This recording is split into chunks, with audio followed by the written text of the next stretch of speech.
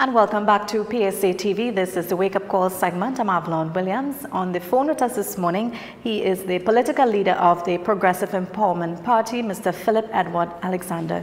Good morning, Phillip.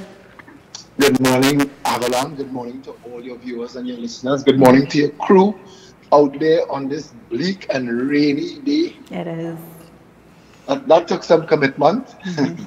Phillip, I, I just want to jump straight into it. I know you had your launch of your party in San Juan. How was that over it the weekend? Mm-hmm. It was it was actually very. Um, it was a good test. Every time we have a public meeting, mm-hmm. we put more and more members who have not been tested to speak, and in a in a venue like that with so many moving parts, it gives you a good idea of what a political campaign should be like, and it's a good test of people's abilities. Mm-hmm. It was nice. It was nice. Okay. I know we had a discussion before you were here in studio with us, but there were a few questions outstanding that persons wanted to get a response from you. One of the questions here this morning is actually on our page. One um, person is asking you here, what are PEP going to do about the labor laws to protect workers in TNT? Labor laws are important. Mm-hmm. Um, business laws are important.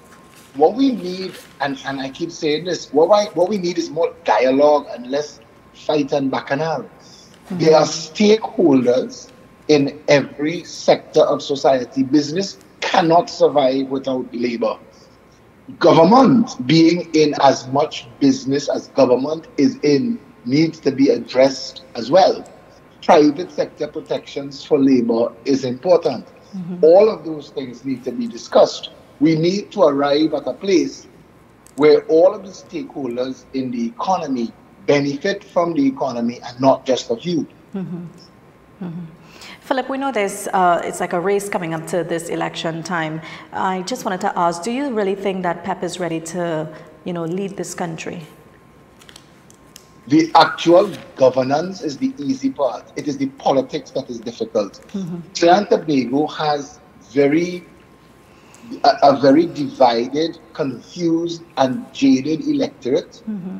So it's easy for other politicians to misdirect the narrative and introduce yard foul conversations and who tipped who conversations. When people woke up this morning, some of them would be in flood and still have no water in their taps. Mm-hmm. Many going to go to work today, and in exchange for their labor, the money that they receive, no matter how much, can't get them the things that the same labor exchange for money in other jurisdictions would afford. Mm-hmm. We go into the banks, we're being we're being charged fees and charges that are reducing bank balances by the day. Banks have stopped paying depositors interest so that putting money in the bank actually costs you money now. All of this, these are the issues that people need to have conversation about with the state, with the government. Mm-hmm. What is being done for the basic things that make up a life? That is what the voter should be given. Our voter has been relegated to a low information voter. So they think that flooding as an act of God is not a responsibility of the government. And trying to get people to understand that the government's job is to mitigate the act of God, but it misses them because they've been dumbed down and misspoken to for so long. So our mission remains inform, educate, and empower. Mm-hmm. If we had the finance that we needed, the politics in Trinidad and Tobago would already be different. It's about communication. Clearly, we have a message. When you call me to interview me this morning, you ask me what we're talking about. So I don't mind, you just ask me anything you want. And that's how we train our members. If you recall at the PSA function I spoke at, I didn't walk up to the mic with a piece of paper. We train our members every single Wednesday. We have every single Wednesday we have a training session led by Sean Sunarine, Deputy Chair, and it's just about issues of governance, reinventing Trinidad and Tobago, so that all members could speak intelligently to issues off the cuff. Mm-hmm. Our chances at the polls right now remain contingent on if we could get people to leave the moorings of the perceived safety of racist voting and actually invest in issue voting. Morvant, Beetham, Laventille, and Sea Lot this morning mm-hmm. needs a government that is different to the rest of the government of Trinidad and Tobago. Morvant, Beetham, Laventille, and Sea Lot need a social development intervention on a massive scale. We need to go in there and redevelop the people, the family, the community, and give them hope and opportunity. We need a baseline under which no citizen should fall. As the third wealthiest nation in the Caribbean, in the Western world, we should have less socialism and more socialist capitalism that leaves none of our people as far behind as so many of our people are. Mm -hmm. Phillip, yesterday was the new um, law term opening. I mean, I want to ask, what, what's your views on the judiciary and the status of court cases and the lengthy delay of justice on, the ju on justice? Wow, that is a whole show by itself. Yeah. So let's take it from the top down. The comment that law fees in Trinidad are too high I underscore that to the millionth degree. Our law fees in Trinidad and Tobago are ridiculous, mm-hmm. but it's set by government briefs. A lot of law firms make a lot of money from the state, and certain law firms that are in bed with certain political parties benefit when that when their party is in office. We need a disconnect in that, in the awarding of briefs for doing basic legal work.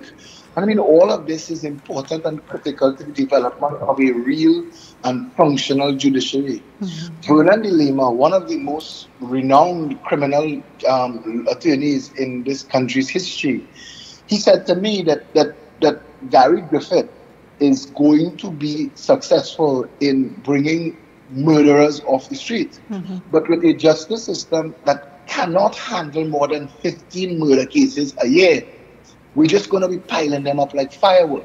There's going to be people on remand and in jail for 50 years who can't get an appearance in the court. And and that is an that is a, a complete frustration of basic human rights. We've said, and if you if you could just let me answer this. Sure.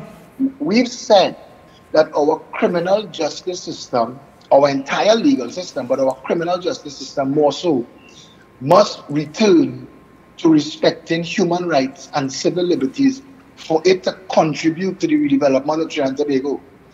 We have mm-hmm. proposed that, that no one can be arrested and held for more than 24 hours, except in special circumstances where an officer of the court at the, at the, at, at the level of magistrate or judge grants the police an additional 24 hours upon request that is not to be abused so that people cannot just be arrested to make a case.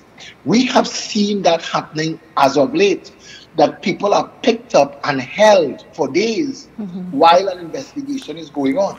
That that should not be how it is done. Arrest and charge within 24 hours or release. If you charge somebody you should have six months, a speedy trial statute we need desperately in this country. Mm-hmm. You should have six months to prosecute or release or drop charges. And once you begin the actual prosecution, you should have no more than five years to prosecute this person. One day more than five years, and the case should collapse we need to put the responsibility back on the officers, the officers of the court, the officers of law enforcement, mm-hmm. to respect people's rights because we are supposed to have been standing on the premise that everybody is innocent until proven guilty. And we need to get back to this. Speedy justice is one of the strongest tenets of that to make sure that everybody respects our justice system. Phillip, how, would you, how would you um, deal with national security, though? When you say national security, on what level? Because we need to secure the nation's borders to stop the flow of drugs. Right. There's a, there's a maritime security wall initiative sitting on the Minister of National Security's desk this morning, and it's been there for over a decade, mm-hmm. and it will secure the nation's borders. From the moment you from the moment you erect the maritime security wall, which literally stops all seagoing traffic three miles out at sea for search and for either allowance or interdiction, you you then create a safe space for law enforcement to protect the country. You need to underscore that and support it with un- unstuffing all containers on the port. We can't do that in the port of Port of Spain. Mm-hmm. The port of Port of Spain was overdue to be removed because 90% of all container traffic that comes through the port of Port of Spain leaves Port of Spain, so it serves no purpose adding that to the 250,000 people that come to work in Port of Spain every single day. We've made a mess of the capital city just by mismanagement move the port of Port of Spain to a larger facility. We, we propose Point Lisas, 10 times the size. Shipping and container traffic management is a massive earner of foreign exchange. So it will, it will serve two purposes at one time. It will allow us to get into the shipping industry on a massive and global scale, mm-hmm. which is important, especially based on where we are located in the world and outside of the hurricane belt but it will also give us the opportunity to unstuff all containers that are coming through the port to Trinidad and Tobago. The Prime Minister, Keith Rowley, said more than 40% of all containers leave ships, leave the port without even being looked at. That is madness in a country that is known worldwide to be a narco state. Mm-hmm. We've had situations where drugs have been found in containers of poultry. We, we've also had the, the, the, the situation where a container was opened in a vehicle showroom and drugs fell out on the floor. So we can't have a single container leave the port unexamined. If we secure the nation's borders and we unstuff the containers on the port, immediately we will end the flow of drugs and, more importantly, illegal guns into the country. Yeah. Once you stop the flow of illegal guns into the country, once it is impossible for you to drive a ship or a pirogue up onto any beach or up any river in Trinidad and Tobago and offload, once the maritime security wall is functional, then you will have you have the opportunity to clean up the police service. We've spoken with members of the New York City Police Department Internal Affairs Division, and they've said to me, we transform this from the murder capital of the world to the number one tourist destination on the planet mm-hmm. by cleaning up our police service. When we talk about our 6,000 police officers here as a challenge, they laugh. They deal with 65,000 police officers. And he's our our liaison in the internal affairs of the New York City Police Department, he says, you don't need whistleblowers. All you need is to follow the money of the average police officer. Mm-hmm. And, and they've also said to me that it is manifestly important that police officers and the New York City police officers tell you they don't fear terrorists, they don't fear mafia, they don't fear gang members, they fear internal affairs. Internal affairs job is to prosecute corrupt police officers. Mm-hmm. From the moment you remove the rogue element from the police service, you could then go about the business of motivating through incentivization the now law abiding and lawful police officers by giving them commissions and bonuses on all of the work that they do, especially work above and beyond the call of duty. The only thing that works in Trinidad and Tobago is the record because everybody's sitting in that record getting a piece of that pie. They are motivated. Mm-hmm. We need we need to continuously be doing drug testing and we need to be continuously training our police officers. In the United States of America, and especially New York City, this model of the mobile command is the most functional model where you break up your urban areas into beats for, for police officers to walk, and every 10 streets is connected by a mobile unit that is driving around with two armed police officers in it as backup and response. All of a sudden, crime response will be immediate and on time. Mm-hmm. And mm-hmm. by having police officers accustomed to being in the community 24 hours a day, the people who live and work in the community will get accustomed to knowing who their officer is.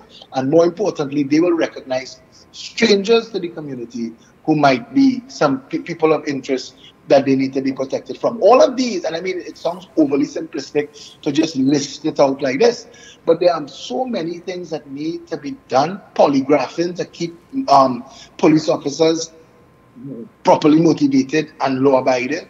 We also need to promote our police officers.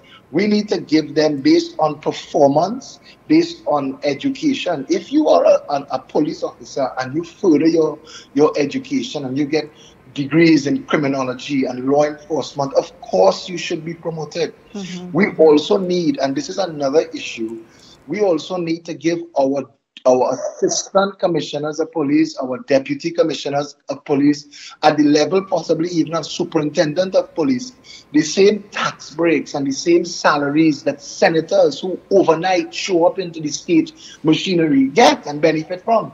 These people who have, who have a, a track record of a life of service of, and, and, and good and honest service should be rewarded for it, as should school principals. These posts and positions in society should be returned to being among the highest and most respected, not relegated to bad talk and, and, and, and name calling. We need to get back to there. We could fix Trinidad and Tobago. We just have to want it. Yeah, I think the Commissioner Gary Griffith will do a great job with that in the police service too. Um, Phillip, another thing that was trending, uh, a BBC documentary of the amount of Venezuelans here in Trinidad and Tobago. But the Prime Minister, Dr. Keith Rowley, has taken strong objection over this, which says there are 40,000 Venezuelans in TNT. Do you believe that this is the amount of Venezuelans here in this country? I don't understand how the Prime Minister is allowed to make statements to the media mm -hmm. and the media not challenge the source of the information. Two years ago, two and a half years ago, Prime Minister said there is 30 something thousand illegal guns in the country. He just made it as a statement. Mm-hmm. He, he, he, used a number. And I've been asking since, how do you know this?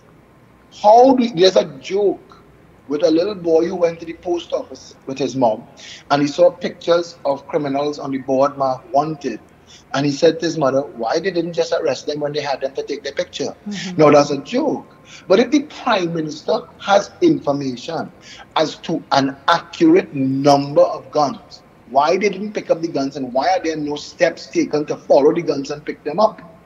We say 57 people in 2017, then Minister of National Security, Dillon, said to the nation, said to the parliament, 57 of our women have been trafficked. He used that number.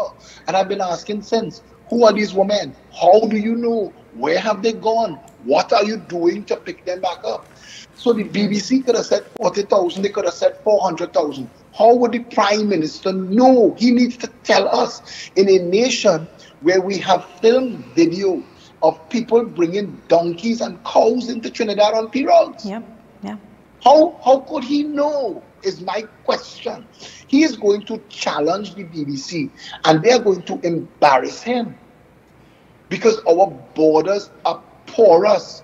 A, a sailboat sailed 400 miles up into Tobago with nobody on it. Mm-hmm. And there was nothing to stop and interdict and check it. It could have been loaded with a nuclear device.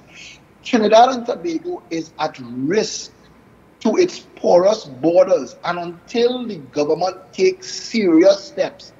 First and foremost, the, the, the boats tied up at Hart's Cut in Chaguaramas 24 hours a day, helping nobody.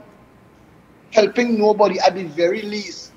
Build four jetties on the four corners of Trinidad and Tobago and break them up. Put three boats on a, on a corner. Trinidad is almost a square. Mm-hmm. It is insane that all of our boats I have spoken to helicopter pilots who say, Mr. Alexander, we have our helicopters based in the north, and the theater of operations is the south. And we burn a half hour of fuel getting to the theater of operation, and we need to save a half hour of fuel to get back. And it is a waste of time, resources, and effort, and nobody's doing nothing about it. Now we've grounded all the helicopters. We've had pilots, national service pilots, airline pilots, actually reporting to law enforcement. They are watching drug transactions taking place in the open ocean in Trinidad's waters And there's nobody to respond until we seriously take the issue that Trinidad and Tobago is a corrupt little narco state and that government after government after government have failed to confront and resolve this issue. All the rest of it is old talk and mama guy. Mm-hmm. Phillip, what um, would you like to see in the upcoming budget? In the upcoming budget, I would like the Minister of Finance to answer to the people of Trinidad and Tobago mm-hmm. why the banks are allowed to put a 13% tax on every transaction on the foreign exchange spread. Mm-hmm. We sell our US dollars and everything that we earn, we earn in US dollars. So we sell it to the city banks for six dollars, and then everything we buy, we import, mm-hmm. and we buy them in US dollars. The banks then sell it to us at six seventy seven. That spread between $6 and 1 cent and 677 is at 13% of the book's tax. That increases the cost of everything in the country beyond what it should be. I'd also like the Minister of Finance to explain to the nation why our dollar is one seventh a US dollar. Why? If we export everything we export, if we're the mm-hmm. third wealthiest nation in the Western world or world until this government, but, but why is our dollar so weak and the Barbados dollar so strong if all Barbados has is tourism? And Tobago could have more and better tourism than Barbados in a heartbeat if we wanted. Why is our dollar so weak? And if it is one seventh to a US, why does it have one fifteenth and sometimes one thirtieth and one fortieth the purchasing power? We need to understand. We need to use examples. A person digging a hole in New York City and a person digging a hole in Trinidad Tobago both get $15 an hour. But what the gentleman in, in New York City could do with his $15 and what the Trinidadian could do with his is a vast difference mm-hmm. in the budget. I would hope for a right sizing of the economy. I would hope for a cancellation of the foolish justice on time prisoner contract that is just wasting money and does not deliver justice on time. We've been saying for decades, build the courts either in the jail or next to the jail. So you will walk them to the, the trial and not have amalgamated security trucks running people off the road, ostensibly taking criminals to court. Mm-hmm. I would like to see that gone. I would like an investigation into the provision of ambulance services in the country. We're still nowhere close to that magic 15 minute um, arrival time that would save lives. I would like an explanation as to what is actually done with the $5 billion spent on public health every year if our public health is such a fiasco? And what is the transfers of a billion dollars inside the Auditor General report that has no breakdown as to where it actually goes?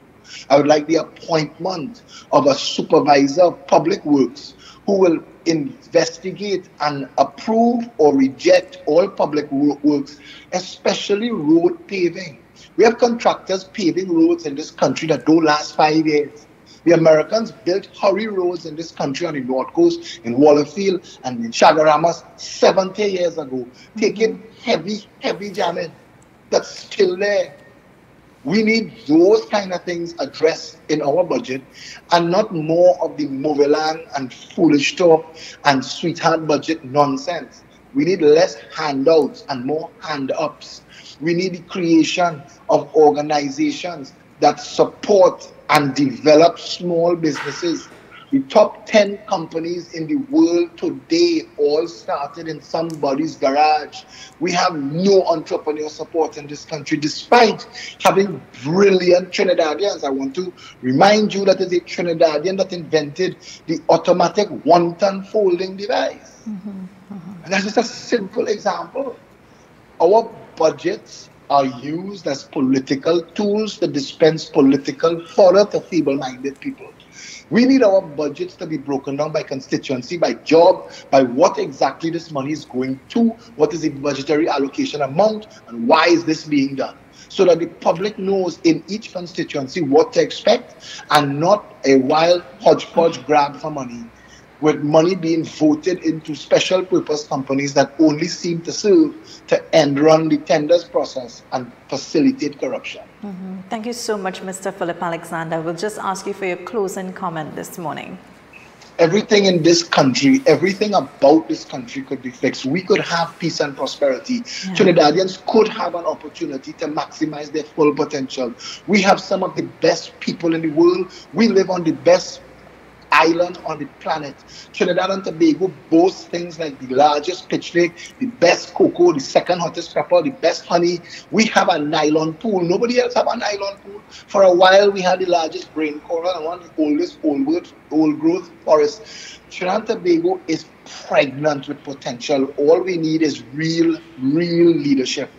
And it is time we started to have these conversations. Forget skin color and hair texture and ask those political aspirants what are you going to do to fix this country and develop it, develop it for me and mine?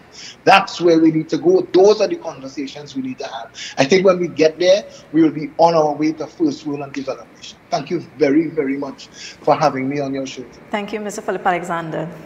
Bye-bye. That was the political leader of the Progressive Empowerment Party, Mr. Phillip Alexander. He is no stranger to us here at the PSA TV. Just to give you an update of what's happening across Trinidad, because we are, we are getting um, updates on flooding throughout. So there's an ongoing flooding across Port of Spain with street flooding now reported on Wrightson Road and Edward Street. Street flooding also reported on Saddle Road, Santa Cruz, around the Burke Secondary School. There's also no lights at the Piarco at the Piarco Airport there, that's the intersection to turn to go into Trin City as well. There's also thunderstorm developing near the northern side in Trinidad. And also there, across in Bermuda, there is most likely Hurricane Humberto may target Bermuda as well. So for those that are on the Nations Road this morning, be very mindful and remember not to speed and do not be on your cell phone. So we're going to take a short break and come back to the program.